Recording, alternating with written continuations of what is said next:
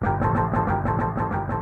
Jonathan Goldstein, and you're listening to Wiretap on CBC Radio 1 and Sirius XM. Today's episode Watch Your Language.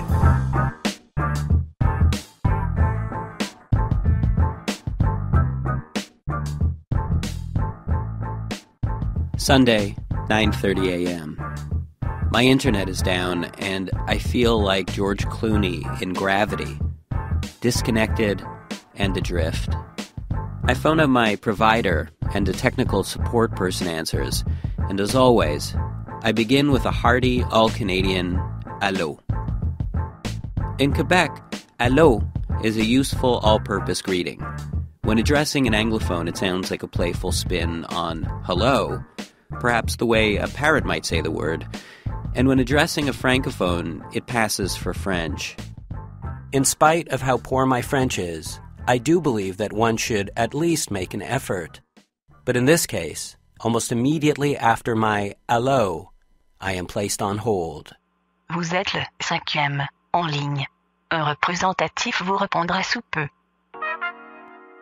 I was born in Brooklyn, but my family moved to Montreal when I was about four. My parents enrolled me in French immersion classes, and in what seemed like the style of education at the time, I was mercilessly made fun of by my teachers for the bébé la la style of my New York accented French. Eventually, it reached a point where I just stopped trying. Vous êtes le quatrième en ligne. Merci de votre patience. How is it I've learned so little French in my life? I've looked up roman à clef at least three times over the years, but I'm embarrassed to say I'm still not sure what it is, and barely sure how to pronounce it. Vous êtes le troisième en ligne. My French has improved somewhat over the years. In fact, in my late 20s, I became the French film reviewer for a Montreal alternative English weekly.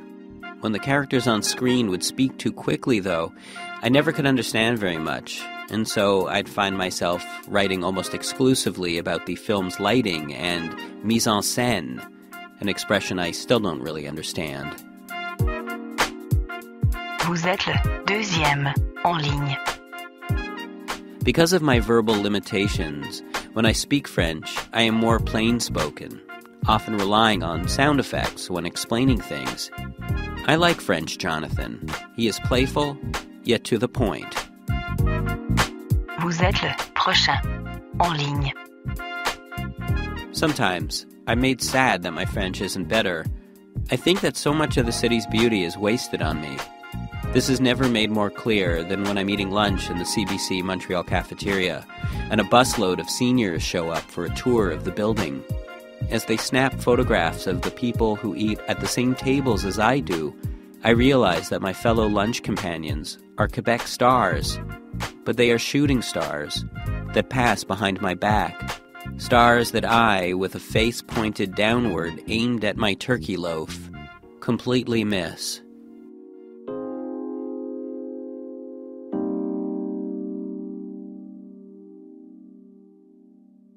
Nine thirty-eight a.m. The technician comes back onto the line, and I explain my problem in French. She answers me in English. Then we both slip into a half and half kind of thing.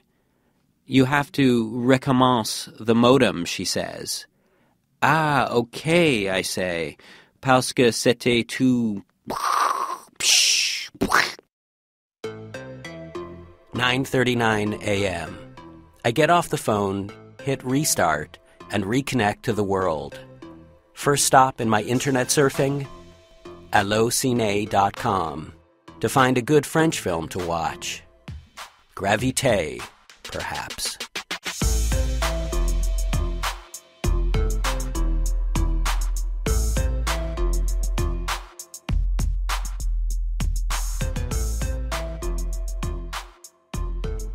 Hello. Hi.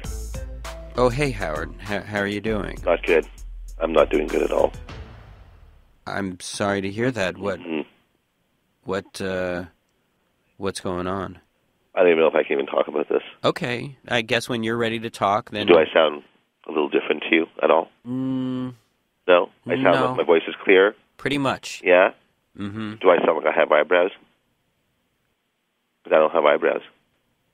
Do you know what emotion I'm conveying right now to you, Jonathan? Well, it sounds like like anger. Is it? How would I know if I'm angry, if I don't have eyebrows to tell me that I'm angry? Well, I can't see your eyebrows, Howard, because Well, I can't see my eyebrows anymore either, John, because I don't have eyebrows any longer. What? I don't understand. What are you? Your eyebrows just fall off? Well, that's a manly way to lose your eyebrows. I guess. Did something happen with those teenage boys that bully you at the convenience store you go It's to? ribbing. It's playful ribbing. They steal your groceries. They're like, poor. I let them take them. all right. Well, I I still would like to talk to their parents. No, they're going to think I'm a daddy's boy. All right. Don't. Let's Oh. just focus on the eyebrows. I have no eyebrows. All right. Why don't you have eyebrows? As you know, every Wednesday I go get my nails done. You go to get your nails done Since I was a kid, I go to the Korean salon to get your fingernails. and toenails. And that's the first thing a woman's going to look at. So hygiene's very important to you. Yes, hygiene's very important to me. And w- and when was the last time you got your hair cut? Well, my head hair has been a while. And when when was the last time you even shaved? When was the last time I was at your house? Because that's when I used your electric razor. And and when was the last time you showered? What are you trying to say? You're trying to say I'm dirty? No, I'm just saying that I, it's odd that you are so obsessed with your nails. When It, it, it's not about cleanliness or about. It's about feeling good. all right, so you have a standing appointment at the Korean nail salon. I've been seeing Mrs. Kim, and and she's the one that does my nails. She's always Mm-hmm. done my nails. But but this is the lady. That, there was a lady there I never I've never seen her before. hmm So they assigned her to me, and then I guess I don't know. And you know, it's a very relaxing place. There's soft music, and so I just closed my eyes and I just let the magic happen. But but like I woke up and my nails were still dirty, and I didn't know what was going on. And I and I and I turned around to speak to her, and I was right in front of the mirror, and sh- they waxed off my eyebrows. Is that a service that they offer? I don't know. All I know is I went in to get my nails done, and I came out with no eyebrows, and my nails weren't done. They didn't even do your. They didn't even They end up. They didn't even do my nails. So they gave me a voucher for a free nail thing. But I mean, who's gonna look at my nails when they're gonna be looking at my stupid, crazy face? I look like Casper. Never seen no Casper the ghost? That's what I look like. I do. don't look like the friendly ghost. I look like the creepy, unsettling ghost. Can I ask you something? I can't be angry. I can't turn my frown upside down. I can't say what with my eyebrows all because I have no eyebrows. All, all right. So, so walk me through it. What happened exactly? Uh, there's this like routine. So it starts off with a little bit with like a little bit of a hand massage, and then, then they'll give me the nice tea, and then you know, and uh, so everything they offer, I would just say yes, right? So in Korean, it's it's ung or or uh, right? You speak Korean? Just nail salon Korean. Huh. You know, like I guess I was just saying yes to everything. So it's like they offer me tea, and I go ung. Then they put cucumbers on my eyes. I'm like, oh, and everything she said, I would just keep saying yes, yes, yes, uh, uh, uh, yes, yes, yes, you know. And I guess she must have asked me if I want to have my eyebrows removed, and I, didn't just didn't realize. And I just said yes. Does that make sense to you? Is this what, what an adult man should be experiencing in his mid forties, walking around no eyebrows because he was doing have his nails done? I don't think so. So they start going mian mian, which is I'm sorry. And me, I, I say I say gomawa, What does that mean? thank you. You thank them for shaving up. I I th- I don't know what I was. I was thanking them. I don't know. okay, so so she so she removed your eyebrows. Well, what do you mean? Okay, so she removed your no, no. I'm just I'm trying to I'm like, just okay, so okay, No, I'm not- You have no feet. I'm not minimizing it. I'm just I'm reiterating. I'm I'm humiliated. I look like a snowball. Look, this is terrible, but I mean your your eyebrows they will grow back. I have no idea if they will. I've tried a few things in the meantime, some grease paint, and I tried a Sharpie marker, but the only way to go is an eyebrow transplant. What what are you talking about? Well, I need an eyebrow transplant. That's why I'm calling you. Howard, I don't believe there's such a thing as an eyebrow transplant. There most absolutely is such a thing as an eyebrow so what? They're going to take some hair from your leg and put it on your eyebrow? I, No, I they're going to take hair from your shoulders. I want that thick, luxurious shoulder hair, that mane you Howard. have. I do not have hairy shoulders. Jonathan, they're like epaulettes. You, you, you look like a general in a marching band. Howard- big, full, shaggy shoulders. Howard, I am not participating in this. All I need is a strip of skin and hair from your shoulder. Skin and hair? Yeah, it's got to be a skin graft. and hopefully my forehead won't reject it. Howard, I don't think there's a doctor in the world who would do some, an operation like this. Oh, I don't, I don't know about doctors. This isn't a doctor. This, this they do this at the nail salon.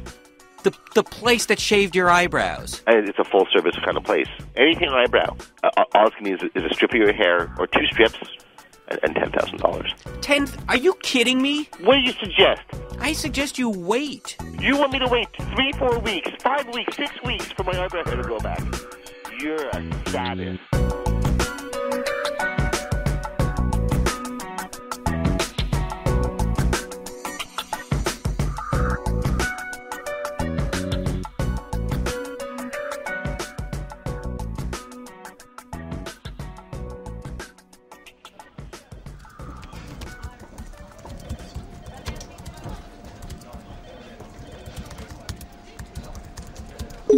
You have one new mail. Subject Joanne's contract. Sent to all staff.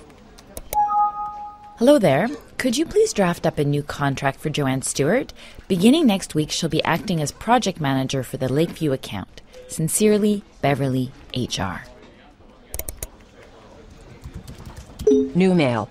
Re Joanne's contract. To all staff. Hey Beverly, not sure why I'm receiving this email. I don't know who this Joanne person is. Maybe I've been placed on this mailing list by mistake. I'd love it if you could take me off when you get a chance. Thanks. Signed, Jim. New mail. Same goes for me. Please remove me from this list. I haven't worked here for years. Seemed like you accidentally sent this to all staff. It doesn't concern the sales department whatsoever. Bill here. Since when are we hiring a new project manager? Am I being fired? Please don't reply all guys. Thanks. No, seriously, am I being fired? What the hell? Please stop replying all people. It was clearly just a mistake. Unsubscribe me, please. Why is Joanne getting promoted? I've been here way longer than her. LOL. Another reply all gone awry. This is just like that time we got over a hundred reply alls to Tyson's retirement party invite. What retirement party? Why was I not invited? Hey all, please just click on the reply tab and deselect reply all. My inbox is flooding. If you hate reply all so much, why are you replying all? Um, if you're replying all just to tell me not to reply all, you can go f- yourself. For crying out loud, if the email isn't for you, just ignore it. Hey, this is Joanne. Who am I supposed to see about the contract? Same person you've been seeing since April. Wink. What's that supposed to mean? Torrid affair. Tom. We all saw you guys at the Christmas party. What Christmas party? Just because I work in the basement doesn't mean I don't occasionally like to come up for air. Okay, this is getting ridiculous. I'm attaching a screen grab showing you people how to just reply directly to the sender instead of replying all. I can't open the attachment. I think I may have been included on this email by mistake. Best, Ashley. Oh, hey, Ashley. How's the weather up on the sixth floor? You can't just fire me like this. I've got a baby on the way. You're all a bunch of sexist pigs. You think I'd sleep my way to the middle? Bill's been running this project into the ground for months. I resent that. Well, at least Bill wears deodorant to work. Hashtag, am I right? That's not deodorant he wears. It's a gallon of cologne, and it gives us all migraines. Hey-oh, gif of a high five.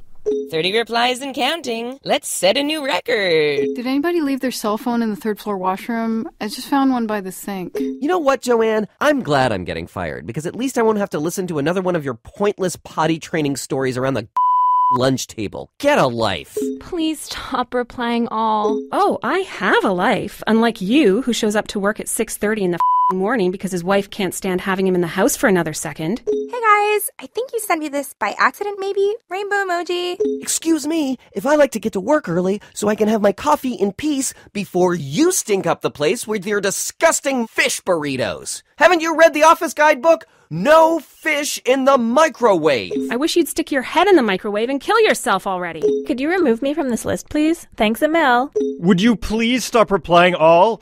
Some of us are actually trying to get some work done around here. For for the love of God. I'm sorry, everyone. I was on a conference call and I'm just getting all these replies now. I was trying to send the original note to Business Affairs. My apologies for the error. Bill, Joanne isn't replacing you. You'll both be working together as co project managers. Please join me, everyone, in wishing Bill and Joanne the best of luck and congratulating Joanne on her promotion. Sincerely, Beverly HR. Yay! Congratulations! Smiley face emoji. Bill and Joanne, the dream team. Congratulations, Joanne. You deserve it. Way to go, Joanne. Well done, Joanne. You got this. You guys are the best. Way to go, Joanne. Awesome. Congratulations, guys. So, what's everyone doing after work tonight? Anyone want to hang out? Can someone please unsubscribe me from this fing mailing list? I retired in 2001.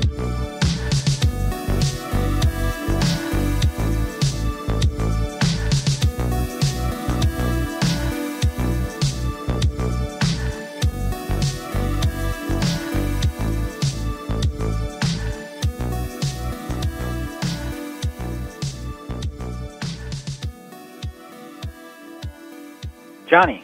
Oh, hey, Gregor. Hey. Johnny, Hi. I come to you with a problem and a solution. Can I have the solution first? Problem is, hmm you're getting old. Well, I mean, I guess we all are. No, but I you s- more than most. You're decaying, Johnny. you're visibly decaying. So I start to think to myself, Yeah. what's the solution? Mhm. Now, there's only one real solution. Uh, You dying. I. But the reason I called you hmm is I was thinking, what can I do with this shriveled old prune of a client? You know- I have an advantage with you that I don't have with all my other clients who are getting Restylane and Botox and plugs and all this stuff. Nobody knows what you look like. That is a part of the, the beauty of working in radio. I, Well, yes, it is. But you, like every other old person, talks like an old person. Your diction, your words you use, the words you speak. And you don't realize it because you're all old. what, and you don't talk that way? Of course not. You have no idea what I'm up to, Johnny. I, I guess I don't. I'm on Snapchat, Yik Yak, Talk Monkey, I'm on Yelp. But the point is, the reason I can slip into the crowd unnoticed by these young people is because I speak their language. What, what, how do you mean? I am calling you to teach you slang so that you can fit in. Slang. Yeah, the way young people talk. And you're going to teach it to me. Yes, what do you got? Age spots clogging up your ears? Yes, I'm calling to teach you slang. What don't you understand? is it is it too late for you? Should I call you earlier in the day? Well, it's only twelve o'clock. What do you take your nap now? What's the matter with you? I, I mean, it just isn't there a risk of sounding a little foppish? You know who says foppish? People in the English court in the 18th century. You work it into your monologues instead of being like Monday, my toaster still is not popping up my toast. Okay. Tuesday, still waiting for my toast to pop. Couldn't sleep all night waiting for my toast. What could be wrong with my toaster? All right, what do you have to teach me? All right, let's say you get dressed up. hmm That's what's known as putting on the Ritz. Putting on the Ritz. Yeah, the, you know the Ritz Hotel in Paris. Yeah, but you know, putting on the Try and Ritz. say it. Say it like this. I'm putting on the Ritz. Putting on the Ritz is something. Okay, now you're on the trolley. Okay. You know what that means? I, I'm getting it right. Yeah, now you've got it. That's You're- right, Mrs. Grundy. You know what Mrs. Grundy means? What? Tightly laced person, such as yourself. Do you know you're using slang though, like that goes back to Fred Astaire putting on the Ritz. That's not young people talk. Horse feathers. No, all everything you're talking is is 1920s talk. I think you're high on giggle water, my friend. That means you're drunk. Johnny, I know it's from the 1920s, and you know what? What? The 2020s are coming around, and every generation wants to be a hundred years behind the times. I never heard of happened in the 60s. The 1860s were very progressive. They were dropping acid in the horse troughs and digging the paisley grooves. They were like, far out, man. And then they'd shoot you with a blunderbuss because they were so high on patchouli oil. Well, I mean... You know what went on in the 1890s? What? Grunge. People were very grungy. Mm-hmm. Johnny, the 20s are coming back in a big way, and we got five years to get you ready. Mm-hmm. We're going to make you the bee's knees if it kills me. We're going to make you the hit of Tin Pan Alley, you wet blanket. But I don't buy this. You're quite the fire extinguisher. 20s are coming back, Johnny, and with it, the cat's pajamas. So your cat is going to be wearing pajamas, and don't you start in with this whole thing about I don't have a cat, because that cat is getting pajamas. Maybe we get you pajamas, and we put a cat there. You a cat in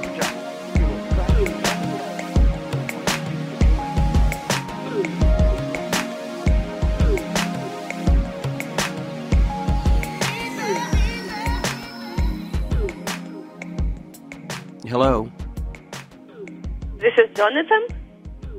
Yes, it is. I'm talking on the telephone to the one who talks on the telephone. Uh, yeah. Uh, who who is this? My name is Masha, and I'm phoning from All Russia State Radio Broadcasting.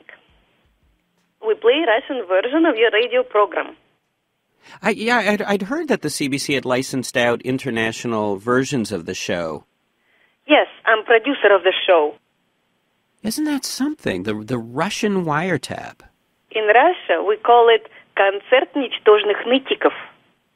Uh, which which is uh, wh- what does that Um, mean? uh, the, the sad little tiny Jew crying on the telephone spectacular. Uh huh. Just like your show, with monologues and all the whole gang. Uh, like, um, Monday.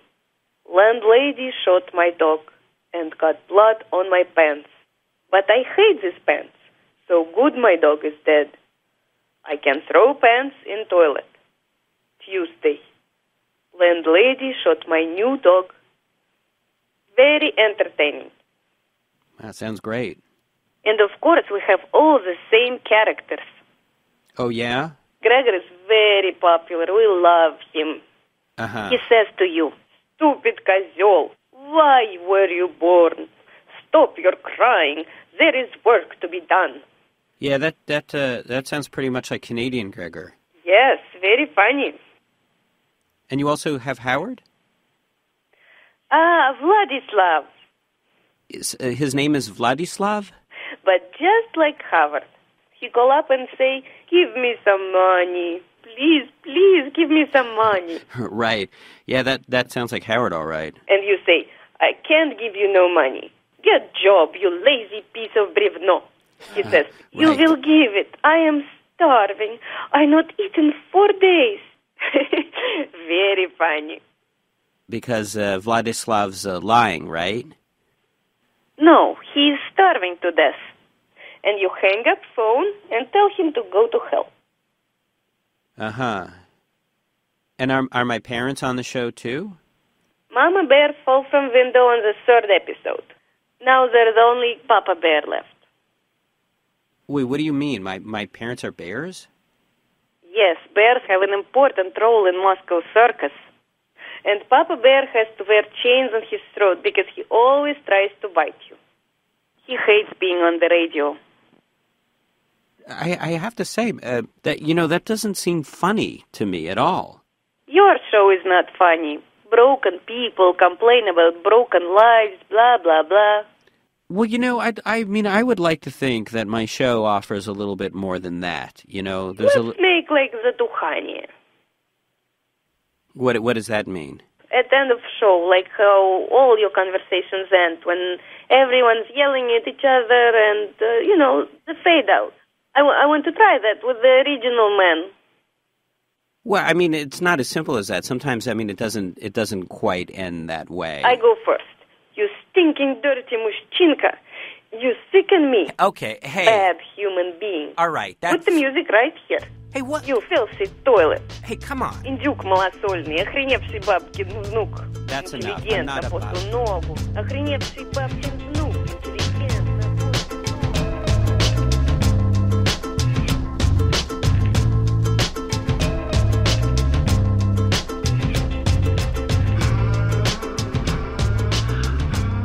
On Wiretap today, you heard Howard Chackowicz, Yana Melnikova, and Gregor Ehrlich. Reply All, an office tale told through email, was written by Mira Burt-Wintonick. Special thanks to our colleagues at CBC Montreal and to our friends at the Toronto Radio Club for lending it their voices. Wiretap is produced by Mira Burt-Wintonick, Crystal Duhame, and me, Jonathan Goldstein. Tune into Wiretap Saturdays at 3.30 and Thursday evenings at 11.30. You can also hear Wiretap across North America on Sirius XM or subscribe to the podcast at cbc.ca slash wiretap, where you can also download the latest Wiretap ringtone. Haven't you read the office guidebook? No fish in the microwave. Keep your coworkers in line with every ring of your phone.